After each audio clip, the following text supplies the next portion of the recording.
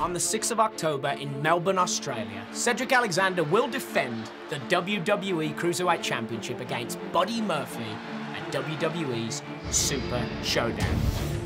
Gentlemen, the last time you both faced off for the WWE Cruiserweight Championship, it was an instant classic. Equally matched in terms of agility. Alexander retains the Cruiserweight Championship. I came out on top for one reason, pride.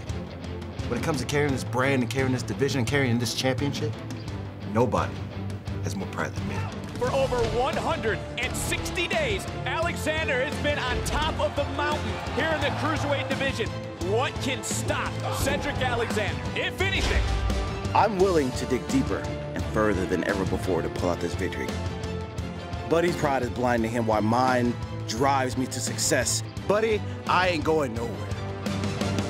You are not gonna defeat me for the Cruiserweight Championship. You will not make your name at my expense. Pride, pride, pride. You keep mentioning pride, and I still came this close from taking that away from you.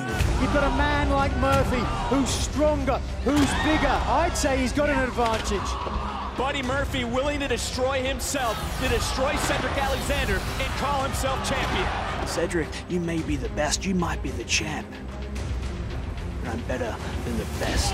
I am the juggernaut of this division, and you can't stop the unstoppable.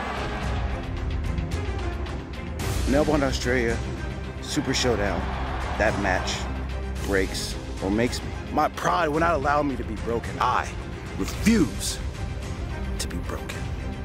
This age of Alexander will come crushing down. I will walk out of WWE Super Showdown of my hometown of Melbourne, Australia, the next, the new Cruiserweight Champion.